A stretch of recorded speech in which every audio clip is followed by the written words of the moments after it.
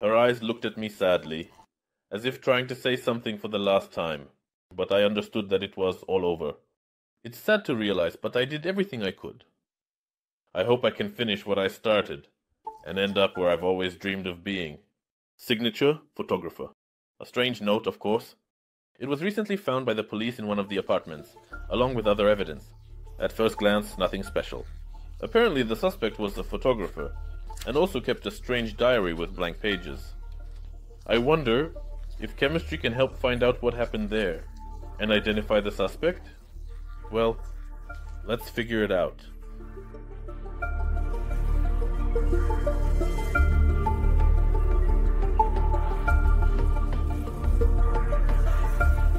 First, let's see what evidence has been collected and what information can be extracted from it using chemical and physical methods. On top of the box with evidence, there is a camera flash, as well as some kind of stand, apparently also for filming. There is also a charger and an old notebook with some stains. Most of the pages, by the way, are empty, which is quite strange. But apparently it was from this notebook that the page was torn out on which that strange note was left. Next, there are various cameras with rather greasy fingerprints. Or maybe it's not grease at all? To find out what traces might have been left on all these items, I first turned off the light and turned on a rather strong ultraviolet flashlight. The fact is that many substances, as well as biological fluids, can glow under ultraviolet light. For example, under such conditions, many fats like sunflower or peanut oil glow well. Yabanek, you and in ultraviolet light, soap, sugar pieces, blood, and other dried biological fluids are also clearly visible. So far, at first glance at the evidence, I don't see any bright glowing spots, as the same dust also glows well. Although here on one of the cameras, there is something glowing. And on this stand, I indeed discovered some glowing traces. Often such bright traces can either be dried biological fluids or some cleaning agent. Soap, for example, can be easily distinguished using a pH indicator, while biological fluids can be identified by smell or color. But judging by the stains on the cameras, it can be assumed that some intimate filming took place at the crime scene, as no obvious traces of red liquid have been found on these items so far. It's possible that the blood remained on other objects or was attempted to be washed away. For example, there are some stains on this notebook, as there might be on other pieces of evidence. Fortunately, there are several quite accurate chemical methods for detecting blood residues, which are fairly easy to conduct, even at home. For the first method, you will need one unusual substance, luminol, which can emit light in chemical reactions. I still have this jar of luminol from my old supplies, which is about 10 years old. However, as far as I remember from chemist stories, when this thin... when this substance is stored for a long time, it can easily oxidize, making it unsuitable for sensitive experiments to detect blood traces. Therefore, just in case, I bought another jar of fresh luminol, which even differs in color from the old one. Meanwhile, before checking the evidence, I became curious to find out how much my old luminol had oxidized after being stored for 10 years. And maybe I shouldn't have spent money on a rather expensive reagent? After all, such a jar with 10 grams of luminol cost more than 60 euros.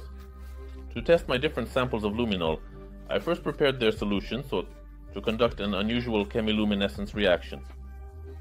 To start, I weighed out 0.22 grams of the old yellow luminol and the fresh gray one into each of the beakers. After that, to create the necessary environment in the solution, I add 6.5 grams of baking soda and approximately 0.27 grams of copper sulfate as a catalyst for the reaction. Then, I pour 250 milliliters of water over all of this and mix it well on a magnetic stirrer. Because the baking soda in both solutions did not create a sufficiently alkaline environment, I added a bit of ammonia solution, this year or ammonium hydroxide, to the solution, after which the luminol dissolved well. As you can see, so far the differences between the old and fresh luminol are only in the color of the solution, since all the other components were the same, in identical proportions. However, that's not all. To conduct the reactions, another solution needs to be made, consisting of 20 milliliters of 3% hydrogen peroxide and 250 milliliters of water. Well, now we can check how the old and new luminol glow under the influence of hydrogen peroxide. For this, first, in the dark, I pour the hydrogen peroxide solution into the old luminol solution. Yes, it glows very beautifully, as this substance, when oxidized by hydrogen peroxide, in the presence of copper salts, emits a quantum of light, which looks quite mesmerizing. But will there be a difference with the fresher luminol? At first glance, everything looks the same. Perhaps it's better to compare these reactions side by side and see how the glow looks. In principle, I don't see a significant difference, as I had the camera settings on manual for both experiments. Perhaps if you look closely, the solution with the fresher luminol glows slightly brighter. So, in principle, over 10 years of storage, luminol hasn't significantly lost its properties, so there was no need to spend on a new one. Nevertheless, besides copper salts, the glow of luminol in a hydrogen peroxide environment can also be triggered by compounds of other metals. For example, iron, even trace amounts of which can cause a glow. And as you understand, in blood or even its remnants, there will be enough iron to cause luminol to glow.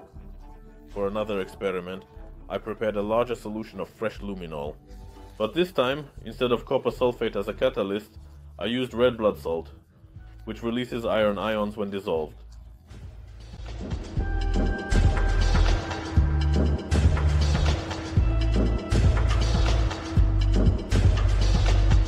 Yes, the glow here looks no less bright and quite beautiful. Perhaps after I figured out my luminol, I can try to find possible traces of blood on some evidence with strange stains. For this test, I have already made a stronger solution, consisting of half a gram of luminol and half a gram of sodium hydroxide to completely dissolve all substances. After that, I poured all of it into a small spray bottle, to which I added an equal amount of 3% hydrogen peroxide. All that's left is to turn off the lights and sprayed the resulting solution on the evidence I selected. As you can see, those suspicious stains immediately began to glow with a bluish tint, which means that there was once blood, or its remnants at this spot. In fact, this method is very sensitive, and can detect even trace amounts of blood that someone tried to clean thoroughly. If the glow is not strong enough initially, then you will need to set the camera to a long exposure to better see that very blue luminescence of luminol. Forensic experts have been using this method of blood detection since 1942 because it is incredibly sensitive, and at that time it revolutionized police work. In chemistry, there are reactions that occur instantly, but sometimes there is a chance that suspicious traces are found in a place where it's not possible to turn off the light. For example, during the polar day. Or for instance, there is a risk of damaging the evidence by spraying it with an aqueous solution. In such a case, there is another unusual chemical method for detecting blood traces. To conduct this test, you need to prepare the so-called Kastle-Meyer reagent, for which I used the indicator phenolphthalein. I think many have seen how this substance turns crimson when alkali is added to it during chemistry lessons. However, today I will be using it in forensics. In addition to phenolphthalein, zinc powder uh, and potassium hydroxide will also be needed. To prepare the reagent, I add 12 grams of potassium hydroxide to a flask with 30 milliliters of water. Then mix everything on a magnetic stirrer until fully dissolved.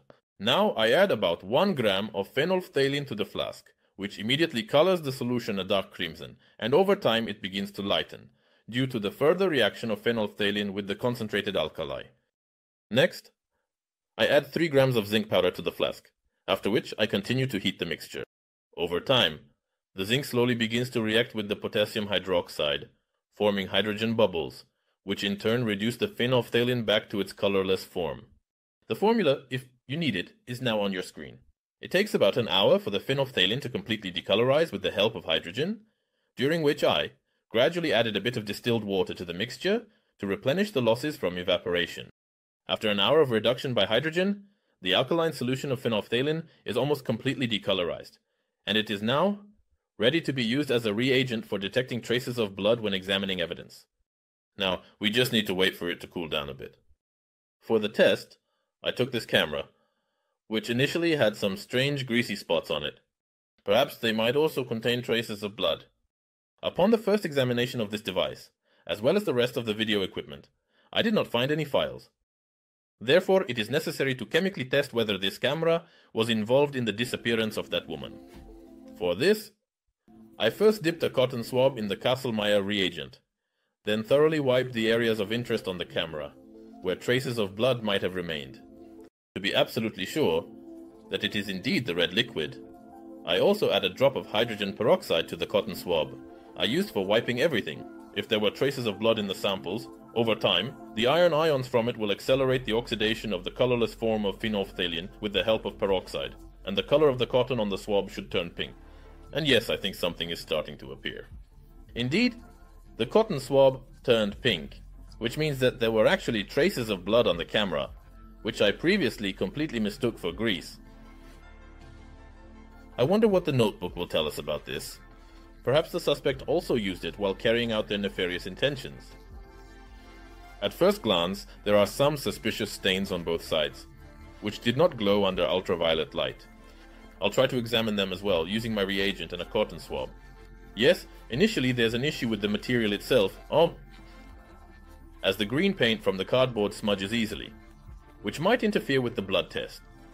However, since this test is quite sensitive, it also shows us the presence of blood on the cover of this notebook, but uh, with its purple color if the initial test indeed showed the presence of blood either from the suspect or someone else at the scene.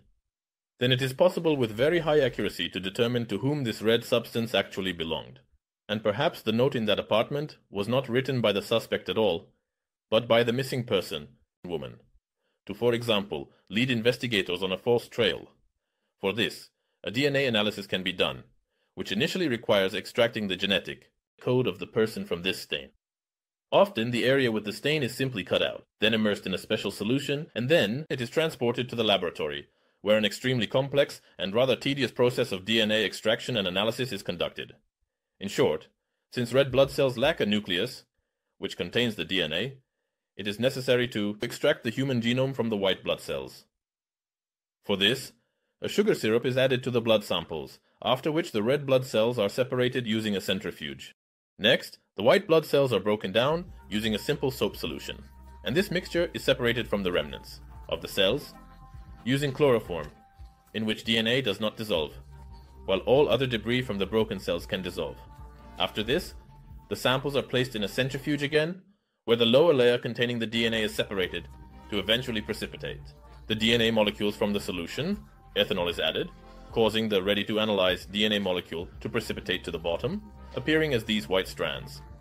This molecule is then sent for sequencing, where high precision machines can decode either the entire genome of a person or its segments. After such analysis, it is possible to identify a person with very high accuracy if their DNA is in the database. But if, for example, they are not present, it will be easier to identify the person by fingerprints. Many people today submit fingerprints when applying for a biometric passport to find fingerprints on pieces of evidence. There are several methods. One of them uses regular superglue based on cyanoacrylate. Such glue is now sold in almost any store. For demonstrating this method, initially under ideal conditions, I took a petri dish and dropped a drop of water on one side and a drop of superglue on the other. As a sample fingerprint, I left my fingerprint on the plastic lid of the petri dish then covered the dish itself with this lid. Over time, uh, the vapors of the superglue begin to react with the water vapors, causing them to gradually polymerize. The residues of amino acids on the fingerprint, in the form of keratinized skin, activate the polymerization of the superglue, causing the fingerprint to be the first to be covered with a layer of superglue, which is easily distinguishable against a dark background. In the end, of course, under ideal conditions, I managed to reveal the fingerprint. Yeah, but will it be possible to do this at home on complex objects, like video cameras? To achieve this, I placed the evidence in a regular Ziploc bag, then dropped into it the little superglue and water, and left it like that for about 30 minutes.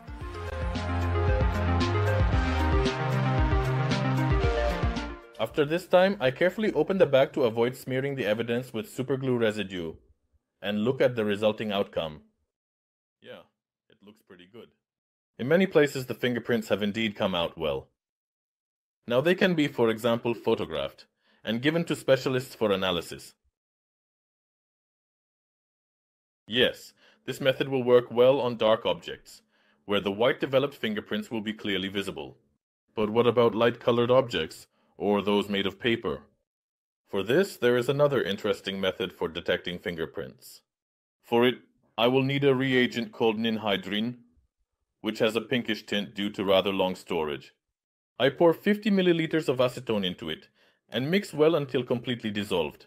After that, I pour the resulting solution into a spray bottle.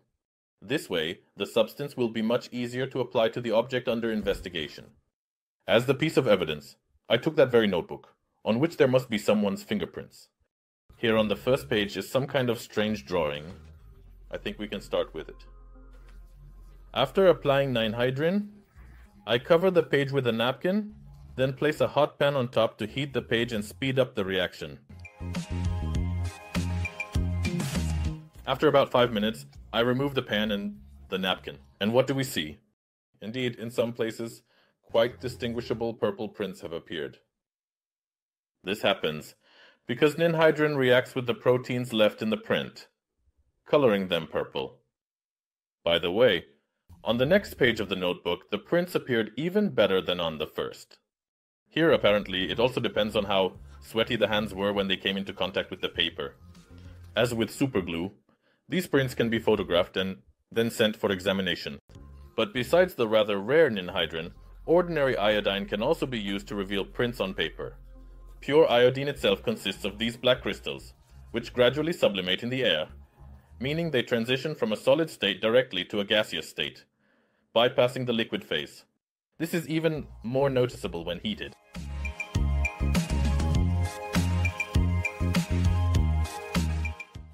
However, since pure iodine is quite difficult to find, I will obtain it from regular iodine alcohol tincture. In a small glass, in press, I measure out the iodine tincture along with citric acid, after which I add about a tablespoon of 3% hydrogen peroxide to the glass. In this form, the solution needs to be left for a few minutes uh, so that elemental iodine precipitates out of it. It is noticeable that due to the warmth in the room, some of the iodine even settled on the top paper, which I used to cover the glass. After I poured out the excess solution from the glass, a black residue of pure iodine remained at the bottom, which sublimates very easily at room temperature. I will use this property to reveal a fingerprint on this paper. You just need to turn the glass over and let the iodine vapors settle on the tiny traces of grease from the fingerprint left on this paper. The whole process takes about 10 minutes. And voila, the fingerprint also becomes clearly visible against the white paper background. All that's left is to photograph it before the iodine evaporates. By the way, this method can also be used to reveal fingerprints on other light surfaces, or on glass. This experiment, by the way, was briefly shown in the movie National Treasure, which is quite fascinating. It's working. It's working. Unbelievable. Yes, it's all certainly interesting. But to find out what really happened in the apartment from which I got those pieces of evidence, we need to wait for the results of the fingerprint analysis and DNA testing. In the meantime, you've learned how modern forensics works, and if you like this video, hmm? as always, don't forget to give it a like and subscribe to the channel so, to learn many more new and interesting things.